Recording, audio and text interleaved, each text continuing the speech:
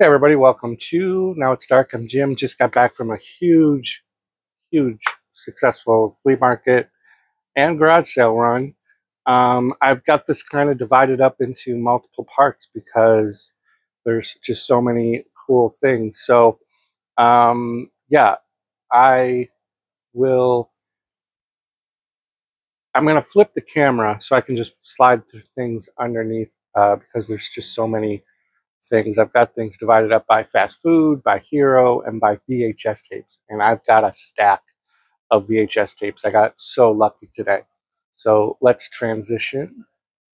All right, I'm going to start with just random stuff. Everything I picked up was a dollar or less. I got this um, Casper the Ghost, and I don't know what this is from, but it feels like this is like part of a package, like it was part of a package of some sort. Um, I got that, and it came with this ViewMaster that has this glued on. I don't know why, but the reason why it was together as a set was because it's the Casper um, ViewMaster cartridge. And so that's cool. I don't know what this is, but yeah. Um, so I got this Captain America Bendy, which is pretty cool. I had these all a long time ago, and there was there was a uh, Adam West Batman uh, 1966 Bendy. I picked that up. Um, there was a Hobgoblin Happy Meal toy. Um, I just kind of picked that up to round off my purchase, even though I do like the Hobgoblin, and this was a fun Happy Meal toy. I don't know if you can see, but the wings move. Um, let's see, I got this Batman, really not good condition mug. Uh, it has Batman down in there. Um, I don't know what this is from, but it's severely water damaged and it has some cracks. But the guy just wanted to get rid of it and he kind of threw it in um, when I bought this Darkwing Duck minifigure. Uh, this would be Negaduck, I think was what he was called. But I do have a Darkwing Duck collection. So it was very exciting to find that. And then at another table, I found one of these old cereal toys um, of Darkwing Duck.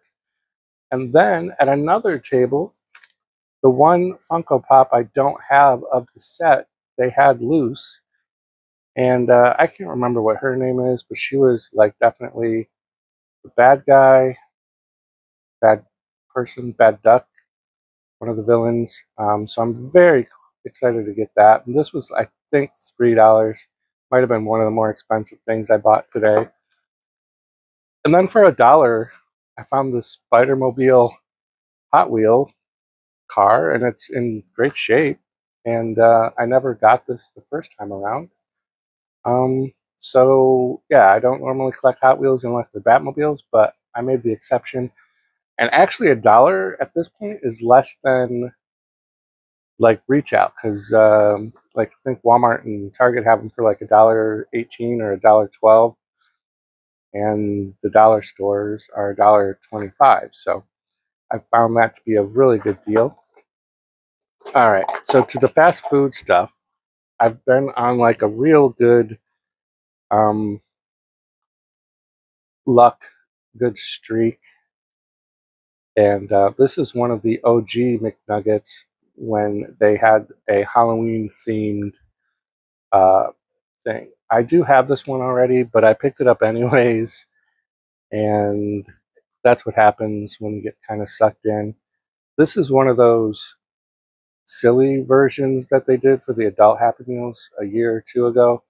Um, it's funny now because these skyrocketed in value like crazy, but the past two weeks in a row, I picked one up each for a dollar. I got Grimace last week, and uh, I don't know what this guy's name is, but definitely going to go down into the fast food collection.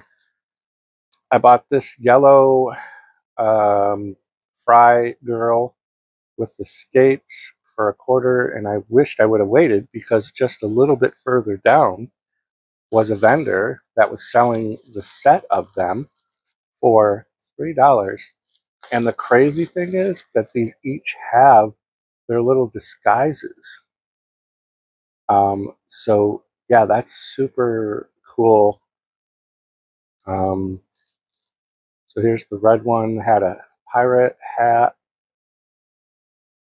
and here's like a teal one in the pajamas with little bunny slippers.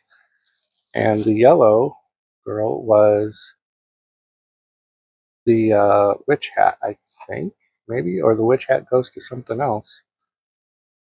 That's not fitting perfectly. Oh, you know what? There's a there's another color, a purple color. I bet you this goes to that one.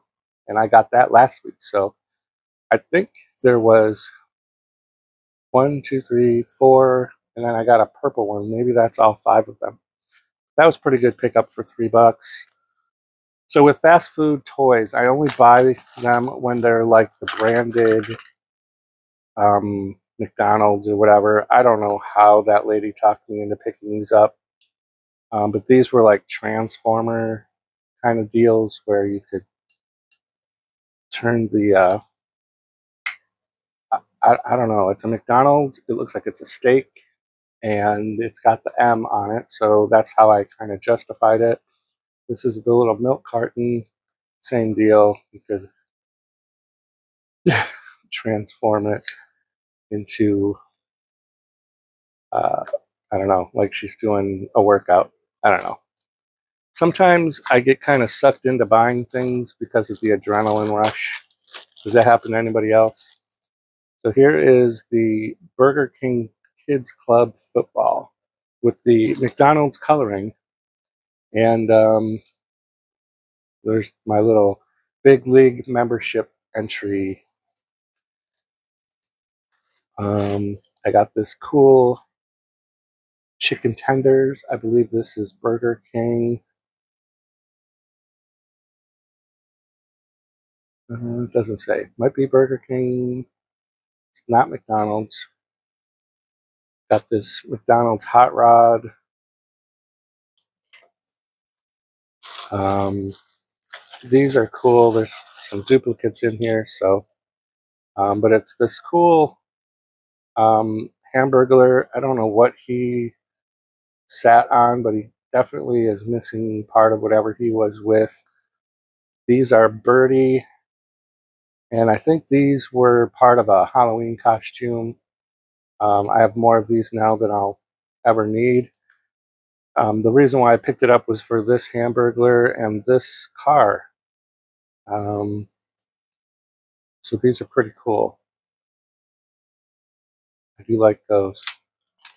And then the coolest part, again, um, usually I only get the branded toys.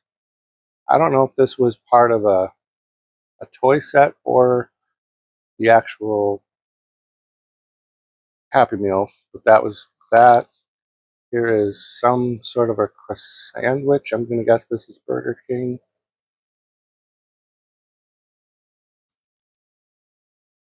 Little, little dirty. Might have to clean that up a little bit. Here is a piece of pie.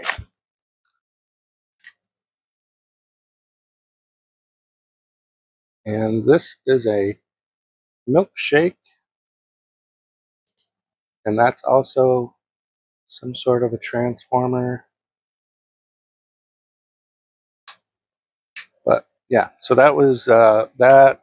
And then the last kind of fast food type thing is this Chuck E. Cheese lunch pail. Kind of cool another like 50 cent item that I just had to have. All right, we're gonna switch the angles again. Hi, welcome back. Uh, I know that was just split seconds view, but this is gonna be the VHS portion of this. I'm gonna start with the garage sale stuff. It's the stuff that I picked up just literally minutes before filming this video. Uh, one of my neighbors down the street uh, decided to do a yard sale and I went down. Um, I picked up this two pack of Stephen King's Rose Red. I'm actually going to just take this right off. Um, so this was a made for TV movie, I'm pretty sure. I don't remember ever seeing it um, in this form. So looking forward to checking this out. Uh, they also had a fun Masters of the Universe with Dolph Lundgren, and this is a good one. Frank Langella. Hopefully someday we'll get like a proper Masters of the Universe movie.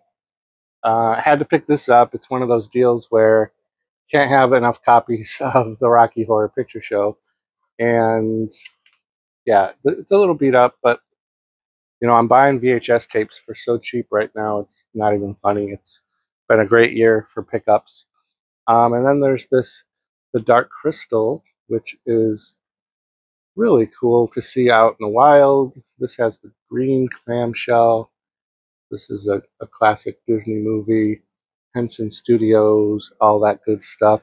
That was from the neighbors, the garage sale and he said sorry he was keeping all the horror vhs that he had.